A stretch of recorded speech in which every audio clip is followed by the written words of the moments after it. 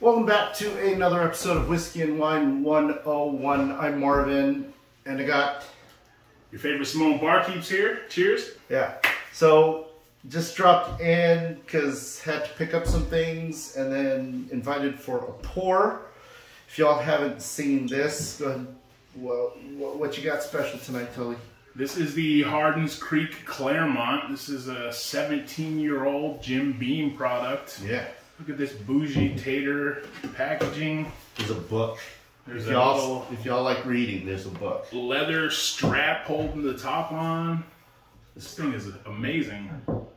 It's got a nice cork. Oh, it's heavy. You gotta hold the strap back when you pour. Oh, it's copper. It's heavy. All right.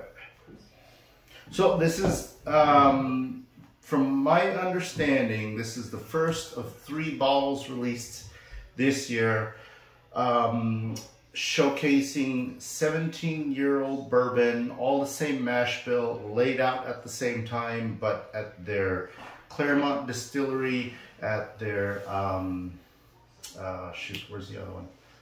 We I don't know more. anything about it. I just like to drink it. Yeah, what he said. So they're they're gonna see what three different uh, uh, what do you call it? Three different uh, warehouse locations can do to the same bourbon.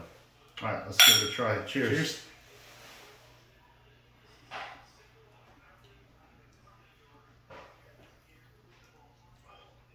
That's very different than anything I've ever had.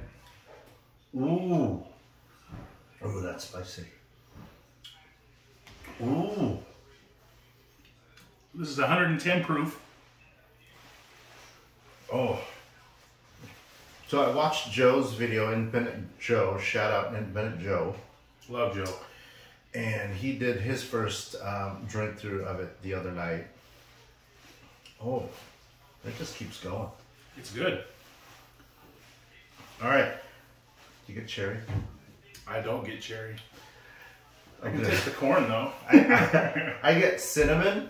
I get the quintessential Jim Beam peanut. A lot of spice, peppery, uh, caramel, and then uh, burnt brown sugar. I get the caramel. I get the nuttiness. I don't like the nose at all. It's not for me on the nose.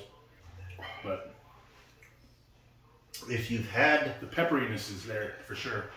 do you like this over Booker's? I haven't I haven't cracked my Booker's yet. I gotta Oh. crack them. Okay. This is good though. I would definitely uh, pour myself a few of these. All right. So I do think I'm gonna try and collect all three, kind of like Pokemon. Gotta catch them all. I will too. Um, if you love the Jim Beam, this is definitely a good spiced up uh, Jim Beam nutty profile. Thanks, Dolly, for having me. Cheers. Cheers. Delightful. Oh, have a good one.